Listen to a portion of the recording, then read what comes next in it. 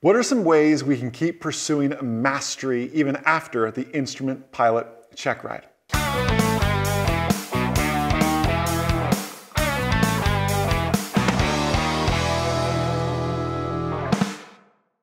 Hey everyone, Jason Schappert here of MzeroA.com and welcome to the Instrument Pilot podcast brought to you by our number one rated, best selling, highly acclaimed online ground school. I mean, I have a very strong bias. I hope it shows. I, I do hope it shows.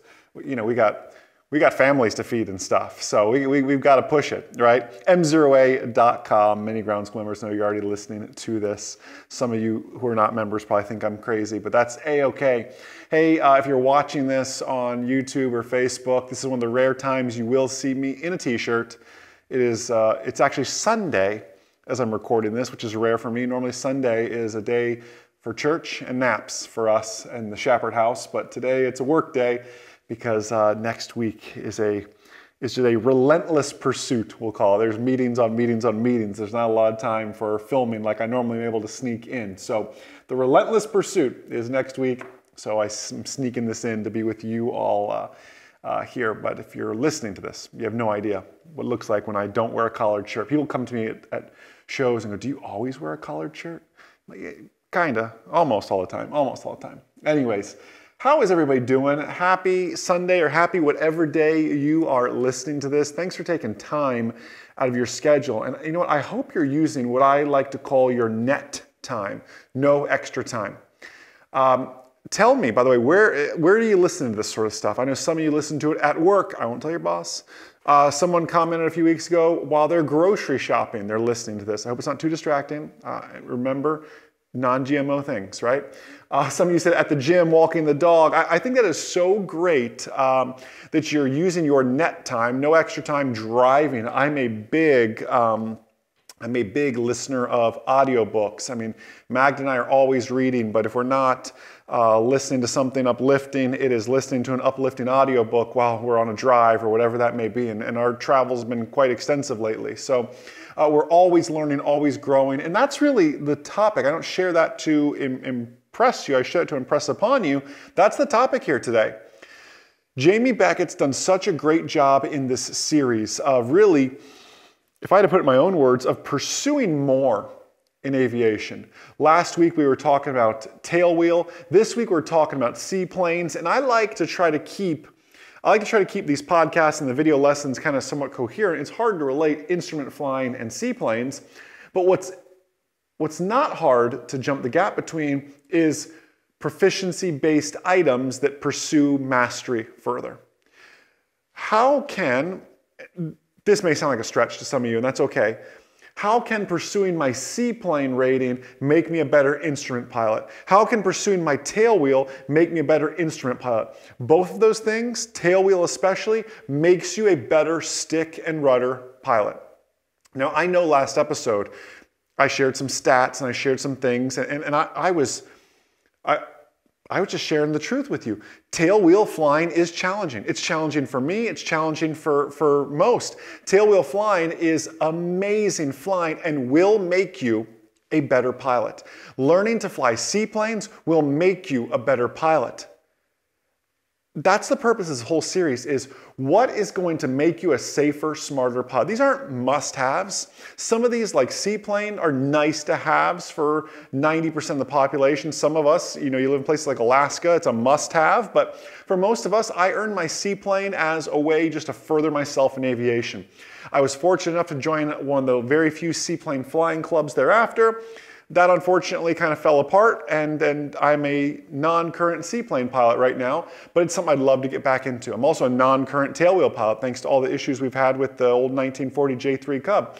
Something I need to get back into because it makes you a better pilot. It makes you a better stick and rudder pilot. And what do I mean when I use the phrase stick and rudder? I'm not just talking about the great book from the 1940s. Um, I'm talking about feeling the airplane truly understanding and feeling the airplane, hearing the airplane, listening to the airplane, becoming one with the airplane. That's what I mean. I worry in a way sometimes we build this entire generation of children to follow the magenta line, and that's great and that will get you there, but do you have a raw skill set to fall back on? You're just something to think about. Um, and that's something I ponder quite often. So what can we be doing as an instrument pilot, right? I, we just, okay, seaplane expands our horizons. Um, how can we expand our horizons as an instrument rated pilot? Let's assume we have our instrument rating now, and we're going to be working beyond. We're going to be working beyond uh, the check ride, because that's at the end of the day my, my goal. Your goal, your short-term goal maybe to get that written test done, the monkey on your back, get your check ride done. I, I, and those are respectable goals. I give you the golf clap. I mean, that is, that's awesome. But my goal really is to make you that safe real world pilot flying in IFR conditions with your loved ones. And you have the full confidence in those abilities that you have. Like that's where I'm shooting for. Now, I advocate often to do your instrument in a, in a um, certainly a very capable aircraft, but usually the slower the better. So let's say you did your instrument in something like a Cessna 150 or 172. Hey, now go do some instrument flying and upgrade to an SR-20 or an SR-22. Game changer. Adding just 20, 30, 40 knots to those approaches, you'd be amazed how quickly you fall behind that airplane. Learning a new avionics suite, learning new aircraft. We can get into the endorsements of complex, high performance. Most of you Cirrus pilots will need a high performance, right? Especially the SR-22, 310, 315 horsepower, depending if it's a turbo or not. Um, high altitude, we can say that for another discussion. Maybe I'll say that for the Commercial Pilot podcast, but for now, talking complex, and what's the definition of a complex airplane? A complex airplane sounds funny, has flaps, has a constant speed variable pitch propeller, uh, and has retractable landing gear. If it doesn't meet all three of those criteria, it is not a complex aircraft. For example, there are fixed gear 182s out there. Cessna, Textron did something very smart back in the day. I was sharing this with the online ground school members a few weeks ago. They did something very smart back in the day where they made an aircraft that had flaps, has a constant speed variable pitch propeller, but has down and welded landing gear, fixed landing gear, not a complex airplane. Most 182s, right, also are high performance because they're above 201 horsepower. They knew that if they had an aircraft that was both high performance and complex, insurance companies have a heyday with it, so would those seeking further ratings and certificates and training. It's just more training. They wanted to make their aircraft faster, better, carry more, but make it as affordable from an insurance standpoint and a training standpoint. And I, I applaud them and I respect them um, for such. You know, Mooney did this for a long time. You know, Mooney is known as the, the, some, the M20J, they call them the 201s. So the 201s really had 200 horsepower because they knew if they kissed above 200 horsepower, they had to have a high performance endorsement. So Mooney, for a long, long time, just made 200 horsepower aircraft. And then they finally just said, listen, let's just do it. High performance isn't that, uh, that hard to earn. Insurance companies understand it more now. Let's go above that threshold. But for a long time, look back in the 70s and the 80s, you'll find 200 horsepower Moonies.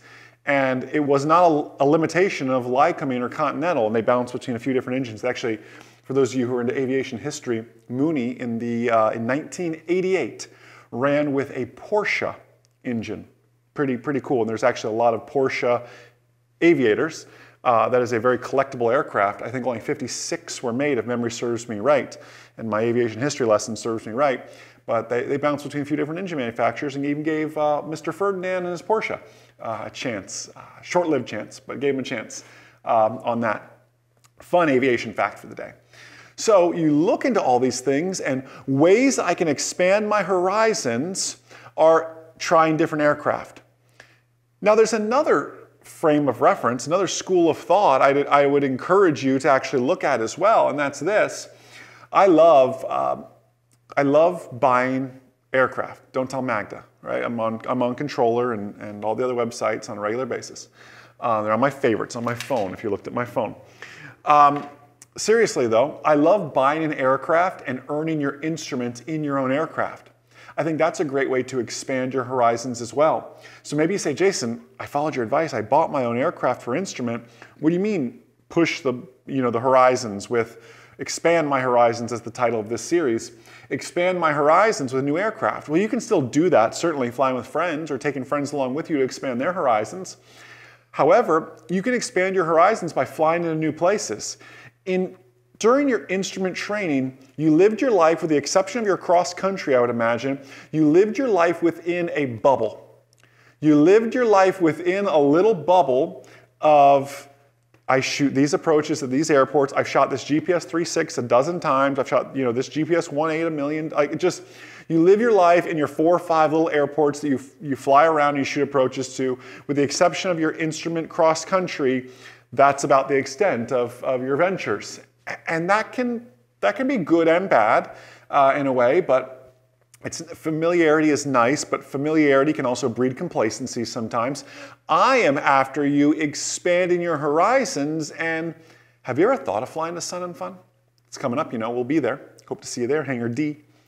You ever thought about flying to Oshkosh? We'll be there too. Hangar B. Come see us.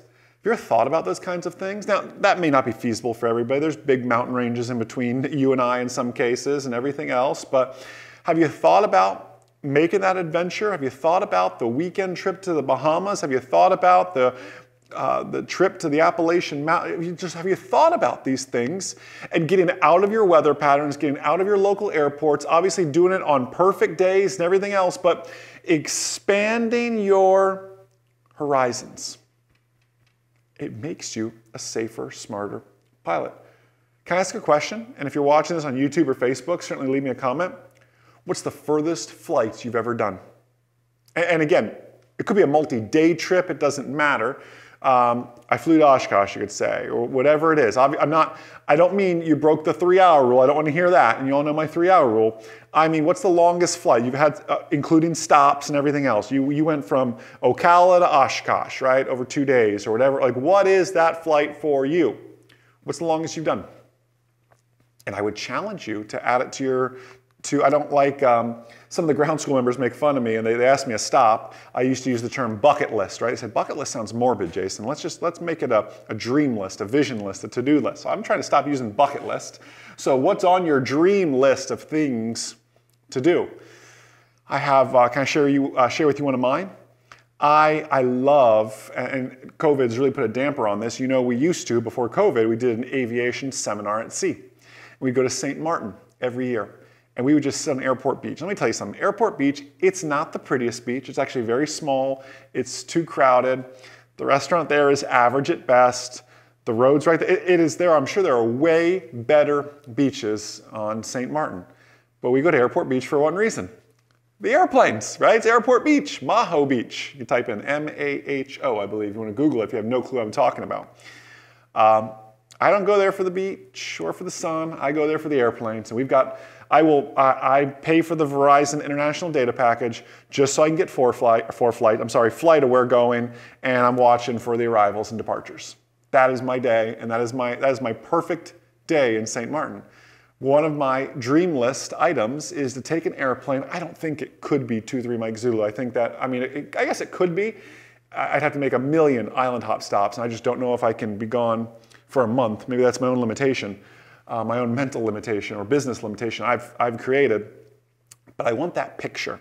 If you go search, and, and maybe, um, maybe Coach Ray, you could do it for me. Go find one that's, uh, that's public domain we don't get a copyright slap on it. I love that sideways picture looking down the beach, the planes coming across from, from right to left over the beach. I want 2-3 Mike Zulu in that picture. Not, not photoshopped. I want, the, I want Magda and I, over, I'm a hire a photographer to sit right there on the beach and wait for us to come in. And I want 2-3 Mike Zulu over Airport Beach. And I want that blown up in the biggest canvas or printed on glass or whatever it is. And I want to see it every day. Like that's on my, my dream list. Uh, what are other things? I mean, obviously island hopping is huge for us. Uh, we have many other favorite places we like to go. We love the Pigeon Forge Gatlinburg area. We love uh, Jekyll Island. If you can't tell, I'm a big, um, I'm a history buff. I've become a history buff. You know, it's funny, I never pay attention to history in school. I'm interested in history that interests me, I guess. I love aviation history. I love business history. So I love to go to Jekyll Island. That's where um, you know the, the Carnegies and the Rockefellers and Edison and Ford and everybody kind of hung out uh, as, their, as their winter retreat. It's just fun to go there and see their old houses and, and learn from that. And love aviation history, obviously, as well as I was sharing with you the Mooney and, and all that sort of I just love that sort of stuff. So um, I, I share all this to say expanding your horizons doesn't have to just be a $100 hamburger. It can be expanding your business. It can be just something you geek out on, like history. Maybe have you ever been to First Flight, Kitty Hawk? I have not, and that's on my dream list as well. What are some other great places? Man, what about just you say, Jason, I've always wanted to fly like into a Bravo. I've just wanted to land at a Bravo. I don't care if there's a landing fee. I know fuel will be 12 bucks a gallon. I've always just wanted to land in a Bravo. Go to Orlando. It's an easy Bravo to get in, in and out of. Take the family and go to Disney for the day and then come back. Like, how can we add an experience around this? Because you've been, if I can be kind of honest with you, and I don't, uh, there's thousands of people that watch this, so this, this message may not apply to everybody, but for a good portion of you, you need to show yourself that flying is fun again because it's a lot of fun. Some of you have been so engrossed in training. And it was like, and, and I love, I see this all the time in the MzeroA Nation Facebook group, and I, and I love it. I love the hustle. I love that aspect of it. But I can also see the drawbacks of it. It's someone who says, oh, I, they passed their private pilot check ride on Friday. Golf clap. Monday is their first instrument lesson. Also, golf clap. I mean, I, I I applaud that and I, I, love, back to that word relentless, the relentless pursuit. I, I love the word relentless. I, I, think it is great as long as it's a healthy, you know, relentless um, can have many, many definitions. I don't mean it in the, the savage sense. I, mean relentless in the, in the pursuit of greatness, the pursuit of mastery, always putting one foot in front of the other. That, that's what I mean when I say the word relentless. And, and I love that aspect but I think when you only take a weekend to reflect and celebrate your private pilot check ride, you dive right into instrument, you forget to tell yourself that flying is fun. And training can wear you out, honestly. And who's ever felt that? Who's ever been burned out in business, burned out at work, burned out in a hobby, burned, burned out? There are a multitude of things burned out by, by being a parent, right? You're like, oh, my parents are finally taking the kids. I get a free weekend to breathe, right? I mean, we've all been there at various levels. And can I share with you that burnout has no place in the cockpit? You need to show yourself that flying's fun. You need, first off, you need some rest, but you need to also show yourself that flying's fun. Many people who do their check ride on a Friday and start instrument training on a Monday forget that you still need 50 hours of PIC time before the instrument check ride. Why not take a two or three month sabbatical, fly once or twice a week, even once a week, commit to fly every Saturday to a different airport that's 50 nautical miles away so you're building PIC cross country time. Take a different friend every time, a different kid every time, right? Whatever it is, take your spouse, take somebody different every time so you get used to flying with new people and new perspectives and a different airport every time as well. Show yourself that flying's fun. Flying's not all touch and goes and go arounds and training as you pursue more. I love, and I know you all resonate perhaps with that word relentless as well because you're listening to this podcast, you're clearly pursuing more. If you weren't interested in being a safer, smarter pilot, you would be you'd be listening to some podcast that doesn't edify you and and uh, and uh, uplift your mind and your spirit and your thinking and everything else. These would just be words, right? So I know you get the word relentless. I know you get the word mastery when we say that. And I applaud you greatly, greatly for that. So, instrument pilots, will you do me a favor? You listen on iTunes or Audible, first off, leave us a review. And I just want an honest review. I'm not one of those that says it must be a five star review. You know what? If I can do better in the pursuit of more and better, I'd like to know about it, right? Jason, you kind of ramble too much. Jason, the family stories are cool, but whatever. Jason, man, I love the stories, don't stop. Whatever is on your heart, it doesn't matter to me. If there's some truth to what you're saying, I want to get better as well. We leave us a review? Facebook, YouTube, leave us a comment down below uh, as well. Throw us a thumbs up, a follow, a subscribe as well. Thank you so much for that. A few little announcements. In Flight Coffee episode 100 is coming up. I'll be doing it live. You know, Magda and I. Um, we're, we're, we're very, very blessed uh, to be investors in Rexair, a great flight school down in Naples, Florida. We're going to host episode 100 uh, in Naples. There's a Facebook event up where you can RSVP to attend that. Um, looking forward to seeing everybody uh, out there. It'll be online as well, don't worry. MzeroA's 15th birthday is April 15th as well. Plan a big live stream, so don't miss that either. So many uh, just great things we have in store and planned for you all. So uh, listen, thank you, instrument pilots, future instrument pilots, for that relentless pursuit of more. And be curious too, what's your definition? Don't, you look up relentless, I'm sure you'd come up with all the, it can have a negative connotation too. What's your definition, that relentless pursuit of mastery? How do you define that? I'd be curious to know in the comments below. I want you to go out there today with this enlightened mindset now as you as you look at everything as you look at how you approach your flying your friends your family your work whatever that may be. And i want you to be a light uh, and just be just be shining abundance in everything that you all do. Have a blessed outstanding abundant rest of your day. And most importantly remember the good pilot is always learning. Have a great day everybody. I'll see you